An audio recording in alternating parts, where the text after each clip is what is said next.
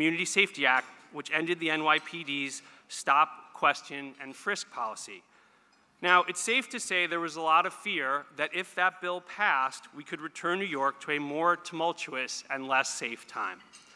Those fears proved unfounded. Jumaane was right, and we are all the better for it. Our city became more fair while still remaining the safest big city in America.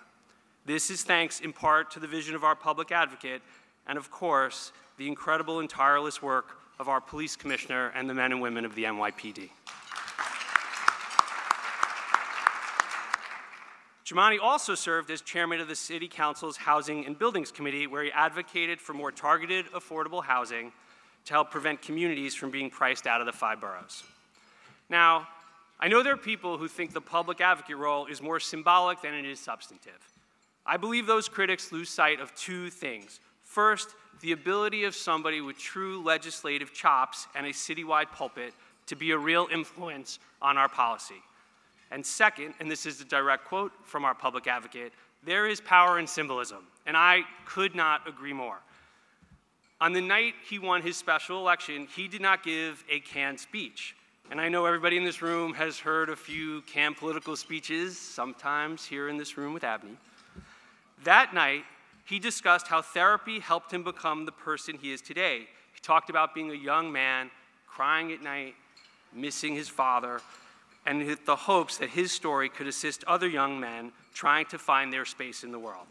I have no doubt he reached both young men and women through that speech. And every time he joins fellow New Yorkers in protest or shares what it's like growing up with Tourette's syndrome, he encourages many more people to find their voice and their place in the world. Public Advocate Williams, we are excited to welcome you today, and we too look forward to being inspired. Now, one last point about our public advocate word on the street is that he is getting married. And last week, at a fundraiser for Jerry Nadler, of all people, I met this incredible woman, which I realized that the public advocate like me is punching above his weight class in his marriage. She's here today, India Sneed. She's a lawyer at Greenberg Traurig, and we're happy to have you. And we want to say congratulations. Now, to both of you, planning a wedding is complicated. And if you're having some trouble, ABNY can be helpful. We know how to run a shindig. We design invites, we have a good list, we book calls, we know a lot of caterers. And we have plenty of people who'd be willing to give a bass man or maid of honor speech. But most of all, Bill Rudin does a mean hora. Ladies and gentlemen, it is our pleasure to have our public advocate with us here today a passionate advocate for our city. Ladies and gentlemen, Jumaane Williams.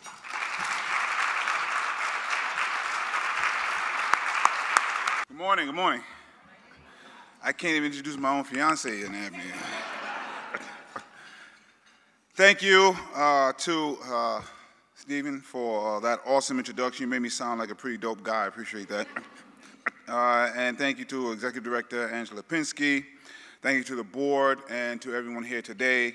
Uh, you've already established protocol, but I do want to shout out my colleagues, Councilmember Dromm and uh, Councilmember Keith, and uh, of course our, I forgot your last name, man. It messed me up. I try to, I try to go by it.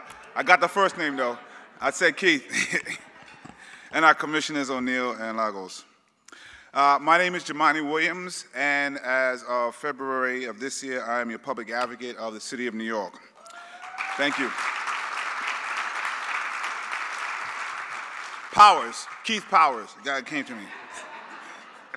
My goal is to use the breadth and abilities of this office to help make New York an even better place for everyone, especially those who do not have a voice. Uh, my primary goal when I'm finished with this office is for no one to ever ask again why we need a public advocate's office. Since taking office, I've tackled more than a few issues. Some you've seen in the media, others you don't hear about every day. New Yorkers, including advocating ways to address our city's affordable housing crisis, both on the city and state level, helping immigrant communities know their rights in the face of the federal government's ICE deportation efforts, and addressing education inequality by pushing for reforms in our specialized high school admissions. While raising issues, amplifying voices, and yes, sometimes even getting arrested at the state capitol in the fight for stronger rent reforms, we've also been working to restructure and redefine the Office of the Public Advocate in a way unlike before. We've also passed more pieces of legislation than all previous public advocates in their first 100 days combined, and we're working to make the office the strongest voice possible for New Yorkers. We're doing this by establishing new roles and creating opportunities to reach people where they are on the issues most important to them. We've created five new roles within the agency tasked with organizing and developing policy around vital issue areas in New York City. These deputy public advocates positions are designed in line with the model and vision I originally had for the office to bring the voice of New Yorkers to the forefront as an activist elected official. Today, I want to talk to you about several key issues that you have heard about in the media, but first, I want to make sure you understand what the Office of the Public Advocate is. Of course, most people understand it to be uh, an ombudsman. Uh, I make sure that we provide a check on the mayor, on the city council, and, and city agencies.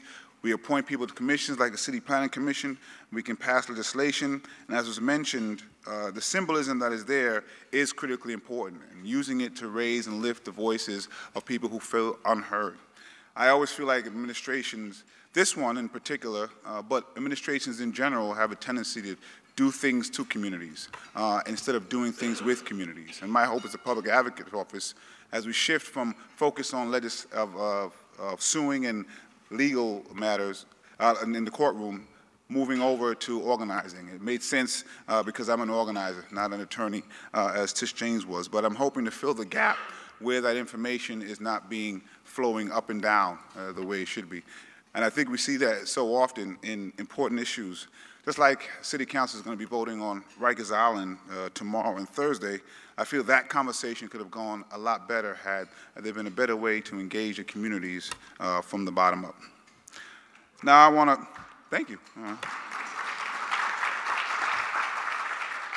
Now I want to discuss some of the major things our office has recently focused on that you may have heard about, including our office's recent report regarding the safety and handling of members of our community suffering from severe mental illness or mental health issues, and our efforts to advance a bill that would create paid time off for our employees who toil in oftentimes 24-7 work environment. In the last three years, 14 people, mothers, sons, brothers, sisters living with severe mental illness were killed in encounters with police. Why is this important? First, because they are human beings.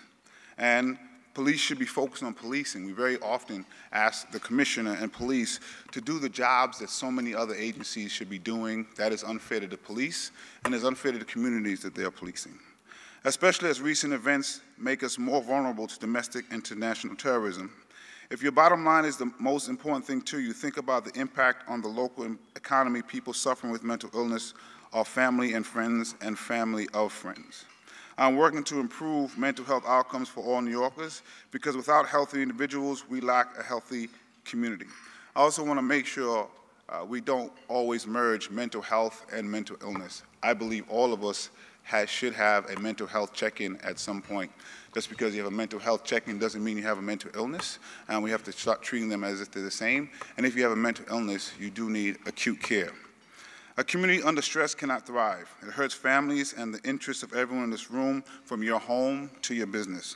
For these and other reasons, my office issued a report that made a number of recommendations for a city, hopefully re reduce the interactions between police and people with severe mental illness who are in acute stress reducing the number of mental health crises by investing in mental health care centers, reducing the number of police responses to such crises by introducing a new number replacing 911 for responses to such emergencies so people can get the health response they need, not a criminal one. Evaluating models that provide a non-police response to acute medical crisis. If we are serious about change, we have to go bold if we are to go at all. New York City police officers should not be in the business of mental health care. Most of them aren't trained to do so, and it's unfair to them, as I mentioned, in the community. The mayor also pledged to open 90 shelters by 2022, particularly for men. To date, 27 have been opened. Getting people off the streets is critical for our city, but this is a farce if no services are attached to keep people off the streets. So as we think about our quality of life, I wanted you to think about paid time off, bill I introduced five years ago. I do want to thank the mayor for bringing this up and bringing it back to the spotlight and to the city council for taking up the mantle uh, of a bill I introduced five years ago as New York City Council member. Putting this bill forward acknowledges our employees are human beings who need time off, especially at a time when the 40-hour work week is becoming extinct and many people are working well past. Our current work culture places value in a 24-hour workday, and the time for paid time off is here. A healthier workforce is a more productive workforce. For that reason, this bill as written now would provide, would require private employees with five or more employers to offer 80 hours of paid vacation time per year based on accrual. Employees would have not provide, employers would have to provide written notice of employees' rights as well as their accrual and usage of paid personal time, protection employees from being retaliated against for seeking their right for paid time off. As I mentioned, that's where the bill is now. I have full faith that it will change as the discussions we are having are moving forward. I've met with stakeholders from employees and advocates to large corporations and small business owners to discuss this legislation. I have heard valid concerns, in, including reduction in workforce hours, this being added to burdensome fines and already high rents. I want people to remember I was also a small business owner. Uh, I didn't work like many of you in the room, it failed, um, but you guys were successful. Uh, but I believe it's still the right thing to do. I often use my experiences that people don't know about, whether it's being a landlord or being a former small business owner, when I'm introducing have, in legislation and having these discussions. It's also why I'm determined to have as many stakeholders as possible at the table to discuss how we get this bill right. Contrary to what some people think, I believe it's imperative that elected officials listen to and hear what everyone has to say. Instead of doing things to the community, we should be doing things with the community. It's important that everybody's in this room. It's important that people who aren't in this room find a way because I think we all have the same goals. Uh, I think we all want to make sure that all young people have a safe place to learn and grow. I think everyone wants their children to do a little bit better than they did. Everyone wants to have a safe place to live, uh, and everybody, and affordable, and everybody wants to have good food on the table. How we get there is what's critically important. And I believe my job and government's job is to find the barriers that are preventing people from doing that and getting those barriers out of the way. But we have to do it together. I've spoken for a while now, uh, but in closing, I'd like to say I'm eager and want to hear from you. Uh, you're in the audience because, like me, you want an even better New York. Like some people in the room, we may disagree on some things, but we can still work together. Thank you so much for this time, and I'm looking forward to answering all your questions. Thank you so much. You mentioned uh, the mental health facilities and how we need to uh, expand them and open more. And obviously, there's a lot of pushback from local communities, a lot of NIMBYism. Can you talk about how we're going to get there? I think there's a lot of different um, ways that we can get there. There's always NIMBYism, but there, there are right now. If you have, um, if you somebody gets, God forbid, cut or something, we can go to an emergency room. Uh, there, we don't really have those things for, for mental health. Uh, particularly if you have an acute crisis at 1 a.m., 2 a.m. in the morning, oftentimes there's no place to go. So we can uh, use HHC uh, in a way that we haven't before to ask them to have uh, emergency room uh, place centers like we do for physical structures. There's a lot of urgent cares that are opening up. We might be able to partner with some of them uh, to be able to provide some of this. And the city, I think, is moving in, in this direction uh, already, and we, we have to. Uh, there, there's just no choice. But there's always going to be NIMBYism. My hope is that we don't force these things on the communities. We have to have a discussion with the communities. Uh, of course, we have to move forward irrespective of if no community board wants it. But, but oftentimes we're kind of just shoving it down folks' throat. But, but it is part of a broader, a broader preventative. Like so, most, many people are focused on the acute time that someone calls, but we have to focus on what happens before that. And so we want to prevent the acute acuteness from happening. And if we have respite care, if we have an infrastructure that doesn't exist now, uh, it will be much better. So I don't know if I answered it fully, how to get there, uh, but I know that we have to. We have no choice. So, uh, as you know, uh, the 2020 census is a priority for ABNY, and I know it is a priority for your office, and thank you for uh, giving it to your first public uh, deputy uh, public advocate. Could you tell us a little bit about how ABNY can work with your office to make sure that each and every New Yorker is counted in the 2020 uh, census? Well, usually, I mean, I don't know if there's Trump supporters in the room, but usually I ask folks if you really dislike and are not happy with uh, Donald Trump, fill out your census. And that's the, that's the number one way to help get back. If you do support Donald Trump, you should fill it out anyway. Um, but it is, uh, we have to make sure that folks understand how critically important it is, and I don't think most people do at this moment in time. Um, and the, I'm thankful for the city has put a tremendous amount of money uh, into it. The state has put some. I'm not sure that uh, governor has released all of it yet, but we have to make sure, um, he, he, often does things like that. But uh, we, we have to make sure that the money is going to community groups and people who are culturally sensitive so that we can reach the hardest to reach folks, uh, like particularly uh, undocumented uh, New Yorkers who the president was trying to frighten into not filling out, but so far we've won that, and we have to make sure that they need to fill it out. And folks who don't know, Brooklyn, Kings County, uh, had the lowest response rate of the entire nation uh, last time. Uh, that's a problem. And so we want to make sure we get out there in uh, language that people understand in a culturally sensitive uh, way. And I think ABNY is, is very well suited to do that because of the breadth and um, different types of organizations and agencies that are here to get that message across. And contrary to, to popular belief, by the time people are knocking on doors, uh, the majority of people have responded. And so the knocking on doors that people commonly think of with the census is the cleanup. And so we want to make sure people are filling it out uh, online and when they get it in the mail long before the people are knocking on doors. It's critically important. We all know why here. We get our funding stream from that. We get our representation from that. We have to do a good job of messaging that, messaging that into what people care about locally. Um, that's the best way to do it. My name is David Condliffe. I'm the Executive Director of the Center for Community Alternatives. You recently visited Syracuse because you wanted to witness a project called Freedom Commons. It's a partnership between the Syracuse Housing Authority and CCA, the Center for Community Alternatives. It's the first time in the nation that a public housing authority has partnered with a group like CCA or the Fortune Society or others to actually welcome people home from prison because that's how we will make projects safer instead of excluding people by welcoming them and supporting them. My question to you, yes, we should all applaud that. That's correct, George. My question to you is whether, having observed that, we have a lot of real estate people in the room, whether you believe that we could be replicating projects like that in New York City, and whether the New York City Housing Authority should take a more affirmative role in issuing an RFP to use some of that vacant land they have for projects like that instead of privatizing it.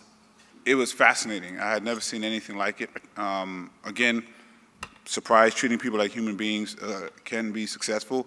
And I got to give the, the governor um, his credit here. Uh, the way that state agencies combined to, which I thought was fantastic, uh, to apply for funding uh, was something I hadn't seen in a long time. And I did bring it back to my team to try to see if it's something we can replicate here in New York City. Uh, in Syracuse, there is a, a, lot larger amount of land uh, to use, so it, it will be interesting to figure out how we can do it here in, in New York City. Um, but I think there are ways that we can do it. Um, there's ways that I think we can even look at uh, NYCHA land uh, to, I think, do some of what they're trying to do through RAD and privatization. Uh, we can maybe look at it uh, to do what, what, I saw up in Syracuse. But it was fantastic. And it's very important to me that we focus on housing in a way we haven't. Supportive housing for people returning, supportive housing with people um, who have um, uh, mental health challenges.